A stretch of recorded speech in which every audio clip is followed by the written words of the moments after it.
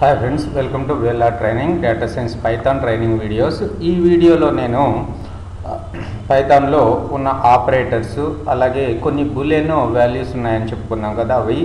అలాగే ఇంకా కొన్ని చిన్న చిన్న థింగ్స్ ఉన్నాయి అవన్నీ కూడా డిస్కస్ చేద్దాం. సో ఫస్ట్ నేను ఏ ఫోల్డర్లో ఉన్నాను? డెస్క్టాప్ మీద నేను డెస్క్టాప్ మీద ఒక ఫోల్డర్ను క్రియేట్ చేసుకున్నాను కాబట్టి డెస్క్టాప్ ఫోల్డర్కి మూవ్ అవుతున్నాను. మై పైథాన్ డిఎస్ అనే ఫోల్డర్లోకి మూవ్ అవుతున్నాను. సో ఇక్కడ చూసుకున్నట్టయితే న్యూ న్యూ డాక్యుమెంట్ తీసుకుంటున్నాను. సో పైథాన్ త్రీ సో ఇక్కడ నేను ఎక్స్ప్లెయిన్ చేసేది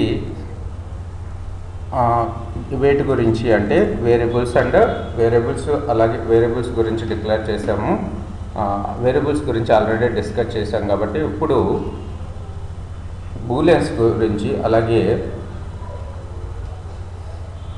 అలాగే కొన్ని ఆపరేటర్స్ బులియన్ అండ్ ఆపరేటర్స్ గురించి డిస్కస్ చేద్దాం. ఓకే? ఆపరేటర్స్ అంటే ఏమేమి ఉన్నాయి బూలియన్ వాల్యూస్ వాల్యూస్ ఏమేమి ఉన్నాయి డిస్కస్ చేద్దాము. ఇక్కడ ఫస్ట్గా మనం చెప్పుకునేది ఏంటంటే హ్యాష్ సింగిల్ హ్యాష్ సింబల్ వాడితే ఏమవుతుంది? సింగిల్ హ్యాష్ సింబల్ వాడి నేను సో ఇక్కడ Boolean and Boolean and and Boolean and operators అని చెప్పి టైప్ చేస్తున్నాను. టైప్ చేసి కంట్రోల్ ఎంటర్ కొట్టాను. ఏమైంది మనకి ఇక్కడ?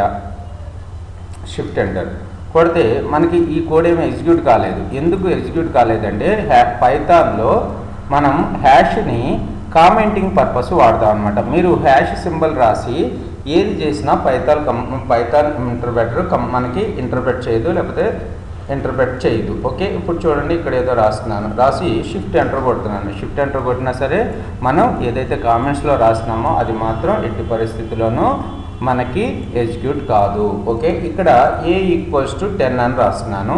అలాగే బి ఈక్వల్స్ టు ట్వంటీ అని రాస్తున్నాను. ప్రింట్ ఫంక్షన్ వాడటలేదు నేను. బాగా గుర్తుపెట్టుకోండి. A equals to twenty and B equals to A equals to ten B equals to twenty అని రాశాను. ఇక్కడ C equals to A plus B.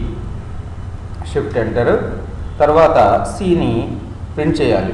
సిని ప్రింట్ చేస్తే మనకి థర్టీ అని క్లియర్గా ప్రింట్ అయింది. కాకపోతే ఇప్పుడు ఏ వాల్యూ బి వాల్యూ రెండింటిని ప్రింట్ చేయాలి నేను ఇప్పుడు. ఏ తర్వాత బి రెండింటిని ప్రింట్ చేయాలి. ప్రింట్ చేయాలి అంటే ఇప్పుడు మనకి ఏ వాల్యూ ఒకటే ప్రింట్ అయింది? ట్వంటీ ఒకటే. అంటే బి వాల్యూ ఒకటే ప్రింట్ అయింది మనకి. ఎందుకు? ఇక్కడ ఈ ఇంటర్ప్రిటర్లో మన మన నోట్బుక్లో ఉన్న ప్రాబ్లం ఏంటంటే మీరు ఈ విధంగా డిక్లేర్ చేసుకుంటే వెళ్తే మనకి అవుట్పుట్ లాస్ట్ స్టేట్మెంట్ ఏదైతే ఉందో లాస్ట్ స్టేట్మెంట్ ఏదైతే రాస్తున్నారో అది మాత్రమే ఎగ్జిక్యూట్ అవుతుంది. సో దాని యొక్క యొక్క వాల్యూ మాత్రమే మనకి డిస్ప్లే అవుతుంది అనమాట అందుకని దాని పర్పస్ మన ఏ- మనకి రెండు values A value B value రెండు ప్రింట్ కావాలి అంటే మనం ప్రింట్ ఫంక్షన్ని వాడుకోవాలి. ఓకే ప్రింట్ ప్రింట్ అనే ఫంక్షన్ వాడుకొని మనకి ఏ వాల్యూ కావాలంటే అన్ని వాల్యూస్ ఒకేసారి ప్రింట్ కావాలి అంటే మనం ప్రింట్ ఫంక్షన్ని వాడుకోవాలి. బాగా గుర్తుపెట్టుకోండి ప్రింట్ ఫంక్షన్లో నేను ఇప్పుడు వేరియబుల్ నేమ్స్ పాస్ చేస్తున్నాను. ఓకే టెన్ ట్వంటీ మనకి ప్రింట్ అయింది. ఓకే ఇక్కడ నాకు ఇక్కడ వరకు నేను వీటి గురించి డిస్కస్ చేశాను. నాకు ఇప్పుడు చిన్న గ్యాప్ కావాలి. అందుకని చెప్పి నేను కోడ్ వ్యూలోకి వెళ్ళి మార్క్ డౌన్లోకి వెళ్ళి ఇక్కడ సింపుల్గా మూడు ఐఫన్స్ ఎంటర్ చేసి ఎంటర్ చేస్తున్నాను. షిఫ్ట్ ఎంటర్ ఇప్పుడు మనకి ఏమైంది ఇక్కడ ఒక హారిజంటల్ లైన్ వచ్చింది కదా. సో మీరు ఎప్పుడు కూడా కోడ్ వ్యూలోకి వెళ్ళి మార్క్ డౌన్ సెలెక్ట్ చేసుకోవడం కొద్దిగా ఇబ్బంది అవుతే మీరు ఏం చేయొచ్చు అంటే ఎస్కేప్ కొట్టి ఎం కొడితే సారీ ఇక్కడ కర్సర్ పెట్టి ఎస్కేప్ పెట్టి ఎం కొట్టండి. అప్పుడు మీరు మార్క్ డౌన్ వ్యూలోకి వెళ్ళిపోతారు మీరు మార్క్ డౌన్లో ఏదైతే టైప్ చేయాలనుకుంటున్నారో అది టైప్ చేసుకోండి. ఓకే? తర్వాత షిఫ్ట్ ఎంటర్ కొడితే మళ్ళీ మళ్ళీ మీరు కోడ్ వ్యూలోకి వచ్చేస్తారు అనమాట ఇప్పుడు మార్క్ డౌన్ మార్క్ డౌన్ వ్యూలోకి వెళ్ళాలంటే ఎస్కేప్ కొట్టి ఎం కొట్టండి. ఓకే చాలు. మీరు మార్క్ డౌన్లోకి వచ్చేస్తారు. ఆటోమేటిక్గా మీరు ఎప్పుడు ఎప్పుడు కూడా సెట్ చేసుకోండి కోడ్ మార్క్ డౌన్ అలా సెట్ చేయకుండా ఈ కీబోర్డ్ షార్ట్కట్ని బాగా గుర్తుపెట్టుకోండి. ఇప్పుడు దేని గురించి డిస్కస్ చేద్దాము అంటే నేను ఒక వేరియబుల్ని డిక్లేర్ చేస్తున్నాను. ఏ ఈక్వల్స్ టు థర్టీ అని చెప్పి తర్వాత బి ఈక్వల్స్ టు ఎయిటీ అని చెప్పి డిక్లేర్ చేస్తున్నాను. తర్వాత C equals to C equals to A by A by B అని రాస్తున్నాను. ఇప్పుడు మనకి ఏలో ఏ వాల్యూ ఉంది? థర్టీ బిలో ఎయిటీ వాల్యూ ఉంది. సో ఏ బై బి అంటే ఎంత వస్తుంది? థర్టీ బై ఎయిటీ మనకి ఎంత వచ్చే ఛాన్స్ ఉంది? ప్రింట్ ప్రింట్ సి అని రాస్తున్నాను. మీరు లేకపోతే ప్రింట్ ఫంక్షన్ ఒకటే వేరియబుల్ని ప్రింట్ చేయాలనుకుంటున్నారు కాబట్టి మీరు డైరెక్ట్గా ఇచ్చేసుకోవచ్చు. ఇక్కడ త్రీ పాయింట్ సెవెన్ ఫైవ్ అంటే మనకి రెండు ఇంటీజర్స్ వచ్చి యాక్చువల్గా వేరే ప్రోగ్రామింగ్ నాలెడ్జ్ ఐడియా ఉన్న వాళ్ళకి మీకు ఇక్కడ చిన్న డౌట్ రావచ్చు. అసలు రెండు కూడా ఇంటీజర్ వాల్యూస్. సో మనకు అవుట్పుట్ అనేది ఫ్లోటింగ్ వాల్యూ వచ్చింది. Okay zero point three seven five వచ్చింది. ఇది పాసిబుల్. ఇక్కడ పైథాన్కు ఉన్న అడ్వాంటేజ్ ఇది. ఆటోమేటిక్గా టైపు క్యాస్టింగ్ జరిగిపోతూ ఉంటుంది ఓకే మీరు ఏ ఏం వేరియబుల్ ఉంది ఏంటి అసలు దాన్ని ఎలా డిక్లేర్ చేయాలి ఇలాంటి ఏవి మీకు అవసరం లేదు. మీరు సింపుల్గా వేరియబుల్ తీసుకుని ఏ వాల్యూని అసైన్ చేస్తే ఆ వాల్యూని అది సింపుల్గా స్టోర్ చేసేసుకుంటుంది ఓకే ఇంటూ ఫ్లోట్ క్యార్ ఇలాంటివి మనం మెన్షన్ చేసుకోవాల్సిన అవసరం లేదు. మీకు టైప్ ఫంక్షన్ గురించి చెప్పాను టైప్ ఆఫ్ సి అంటున్నాను. ఇప్పుడు సి అంటే మనకి ఏం ప్రింట్ అవుతుంది ఇప్పుడు? షిఫ్ట్ అంటారు. టైప్ ఆఫ్ సి ఫ్లోట్ అని చెప్పి మనకి ప్రింట్ అయింది. అంటే సిలో మనకి ఫ్లోటింగ్ పాయింట్ వాల్యూ ఉంది. ఓకే నేను ఇప్పుడు రౌండ్ చేద్దాం అనుకుంటున్నాను. ఊరికి గుర్తుపెట్టుకోండి రౌండ్ ఆర్ఓ రౌండ్ అనే ఫంక్షన్ ఉంటుంది మనకి. ప్రింట్ ఫంక్షన్ ఎలా ఉందో అలాగే టైప్ ఫంక్షన్ ఎలా ఉందో రౌండ్ ఫంక్షన్ కూడా ఒకటి ఉంటుంది. రౌండ్ ఆఫ్ సి అని చెప్పి నేను టైప్ చేస్తున్నాను. టైప్ చేసి షిఫ్ట్ ఎంటర్ కొడుతున్నాను. రౌండ్ ఆఫ్ సి మనకి ఎంత వచ్చింది? రౌండ్ ఆఫ్ సి జీరో వచ్చింది. ఓకే. ఇప్పుడు మనం ఏం చేద్దామంటే ఏలో వన్ సిక్స్టీ పెడదాం. వన్ సెవెంటీ పెడదాం. ఓకే. వన్ సెవెంటీ పెట్టి ఇప్పుడు దీన్ని రన్ చేద్దాం. Okay.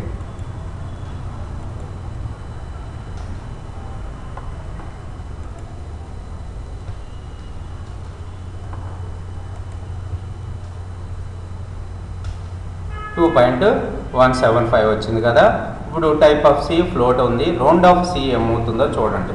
So round off C మనకి ఏమైంది రెండు అయింది రౌండ్ అంటే ఏంటంటే మనకి ఏదైతే పాసిబుల్ వాల్యూ ఉందో నియరెస్ట్ వాల్యూ ఉందో ఆ వాల్యూకి రౌండ్ చేసేసి మనకు చూపిస్తుంది. మనం నార్మల్గా రౌండ్ చేయడం ఫ్లోర్ చేయడం సీల్ చేయడం అంటాం కదా. రౌండ్ చేయడం అంటే నియరెస్ట్ ఇప్పుడు ఏలో నేను ఎంత పెడుతున్నానంటే ఎయిటీ వన్ సిక్స్టీ కాకుండా వన్ ఫిఫ్టీ ఫైవ్ పెడుతున్నాను. ఎంత వస్తుంది మనకి? వన్ ఫిఫ్టీ ఫైవ్ పెడితే షిఫ్ట్ ఎంటర్ ఓకే సిలో shift enter కొడుతున్నాను. One point nine three seven ఉంది. ఇప్పుడు రౌండ్ ఆఫ్ సి ఎంత వస్తుందో చూడండి. రౌండ్ ఆఫ్ సి మనకి టూ నియరెస్ట్గా ఏదైతే వాల్యూ ఉందో అంటే నైన్కి దగ్గరగా టూ ఉంది కాబట్టి మనకి టూ అనేది ప్రింట్ అయింది. అదే ఇక్కడ సింపుల్గా పోనీ సిలో నేను ఏం చేస్తున్నాను అంటే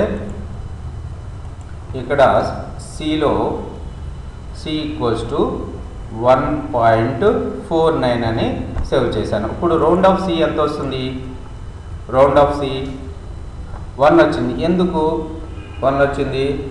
ఓకే ఫోర్కి ఫార్టీ నైన్కి నియర్ బై వాల్యూ మనకి వన్ కాబట్టి అందుకని మనకు ఇప్పుడు- ఇప్పుడు ఇక్కడ ఏం చేస్తున్నానంటే వన్ పాయింట్ ఫైవ్ ఇస్తున్నాను. ఇప్పుడు మనకి ఏమొస్తుంది రౌండ్ ఆఫ్ సి టూ వచ్చింది. ఓకే ఈ విధంగా మీకు రౌండ్ ఫంక్షన్ అనేది ఫైవ్ కన్నా అబౌవ్ ఉంటే గ్రేటర్ వాల్యూకి అసైన్ చేస్తుంది. ఫైవ్ కన్నా తక్కువ ఉంటే లెస్ దాన్ వాల్యూకి అంటే మీరు ఇక్కడ మీరు ప్రాక్టీస్ చేసుకునేటప్పుడు వాళ్ళ సి వాల్యూ ఎయిట్ ఇచ్చారు.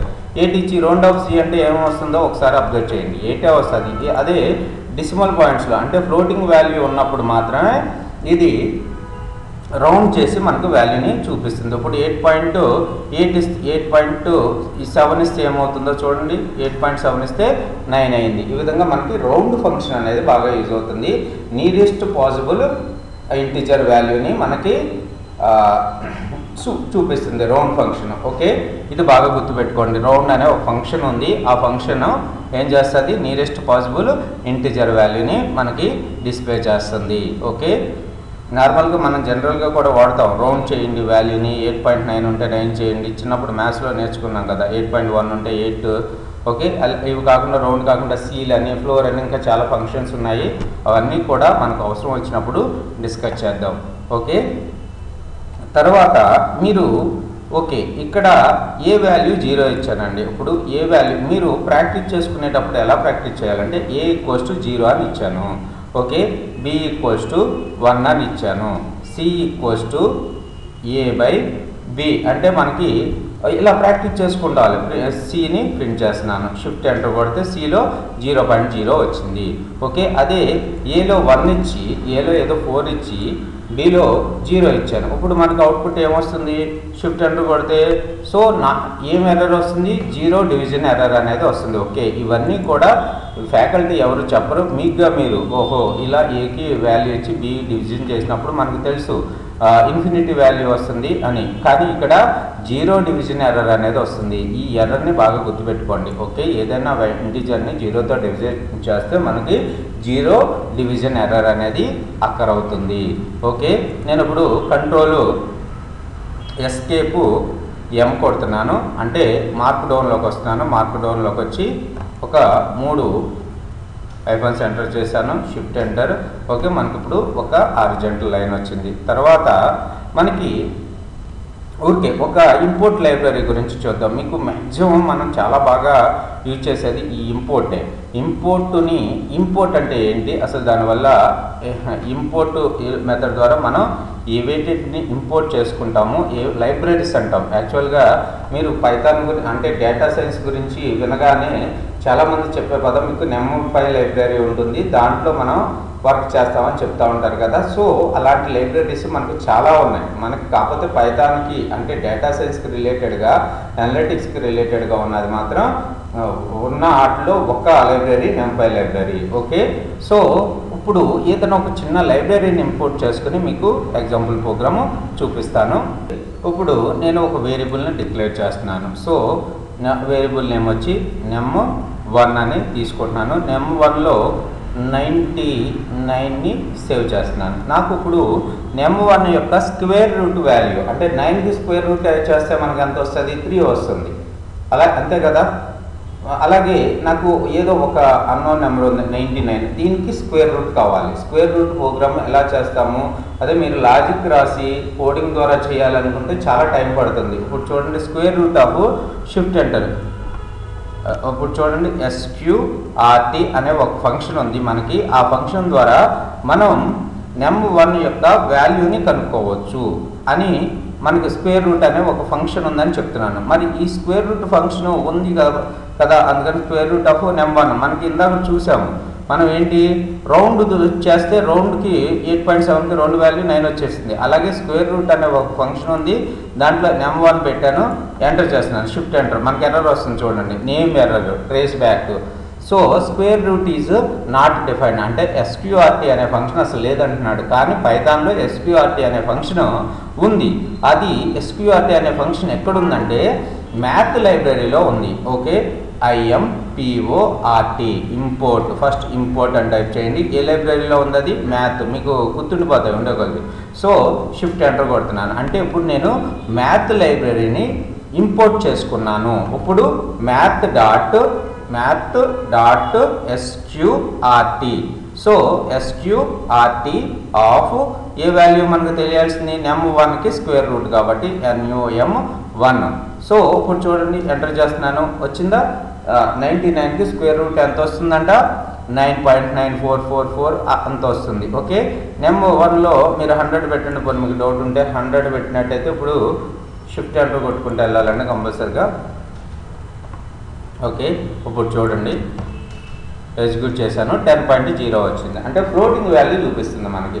మరి నాకు ఏమంటున్నానంటే నాకు ఫ్లోటింగ్ వాల్యూ వద్దు రౌండ్ వాల్యూ కావాలి అనుకుంటున్నాను. అందుకని రౌండ్ ఆఫ్ ఈ ఈ స్టేట్మెంట్ని కాపీ చేసుకోండి కాపీ చేసుకుని రౌండ్ ఆఫ్. రౌండ్ అనేది బై డిఫాల్ట్గా వస్తుంది. ఏ లైబ్రరీలో లేదు. బై డిఫాల్ట్గానే మనకి రౌండ్ ఫంక్షన్ ఉంది కాబట్టి round off square root of num one అని ఇస్తున్నాను. చూడండి ఇప్పుడు మనకి టెన్ వచ్చింది. అంటే మనం స్క్వేర్ రూట్ అనే ఫంక్షన్ స్క్వేర్ రూట్ అనే ఫంక్షన్ ఏ లైబ్రరీలో ఉందండి? మ్యాథ్ లైబ్రరీలో ఉంది. ఓకే? అందుకని మనం ఫస్ట్ మన ప్రోగ్రామ్ మనం ప్రోగ్రామ్ రాసేటప్పుడు ఆ మ్యాథ్ లైబ్రరీని మన యొక్క ప్రోగ్రాంలోకి ఇంక్లూడ్ చేసుకోవాలి. ఇంక్లూడ్ చేసుకోవడానికి ఉన్న కమాండ్ ఏంటి? మనకి మ్యాథ్ లాంటి లైబ్రరీస్ చాలా ఉన్నాయి పైథాన్లో. ఇక్కడ చిన్న ఎగ్జాంపుల్ పర్పస్ చెప్తున్నాను అనమాట మ్యాథ్లో చాలా ఫంక్షన్స్ ఉన్నాయి మళ్ళీ. మ్యాథ్లో ఒక ఫంక్షన్ పేరేంటి? Square root. సో మీరు ఎస్క్యూఆర్టీ అనే ఫంక్షన్ వాడుకోవాలంటే మ్యాథ్ లైబ్రరీని ఇంక్లూడ్ చేసుకుని తర్వాత మ్యాథ్ డాట్ స్క్వేర్ రూట్. ఏదైతే లైబ్రరీ నేమ్ ఉందో ఆ లైబ్రరీ నేము డాట్ తర్వాత మనకు కావాల్సిన ఫంక్షన్ నేమ్. ఇవన్నీ ఎలా గుర్తుంటాయి? ఈ- మ్యాథ్ లైబ్రరీలో ఉన్న ఫంక్షన్స్ అన్నీ మనం ఎలా గుర్తుపెట్టుకోవాలి? అవసరం లేదు. గుర్తుపెట్టుకోవాల్సిన అవసరం లేదు. కొన్ని ఫంక్షన్స్ వరకు నేను చెప్తాను. అవన్నీ ఫాలో అవ్వండి. మీరు ఇప్పుడు స్టార్టింగ్ స్టేజ్లో ఉన్నారు కాబట్టి ఎటువంటి టెన్షన్స్ పెట్టుకోవద్దు. ఒక కాన్సెప్ట్ అయితే గుర్తుపెట్టుకోండి. మనకి కొన్ని లై కొన్ని ఫంక్షన్స్ ఉన్నాయి. ఆ ఫంక్షన్స్ కొన్ని లైబ్రరీస్లో ఉంటాయి. లైబ్రరీస్ని మనకు ఆ ఫంక్షన్ కావాల్సిన వచ్చినప్పుడు ఫస్ట్ ఆ ఫంక్షన్ ఏదైతే లైబ్రరీలో ఉందో దాన్ని ఇంపోర్ట్ చేసుకుని మనం ఆ ఫంక్షన్ నేమ్ని ఎలాంగ్ విత్ లైబ్రరీ తోటి మనం కాల్ చేసుకుంటే మనకు కావాల్సిన అవుట్పుట్ వస్తుంది. ఓకే?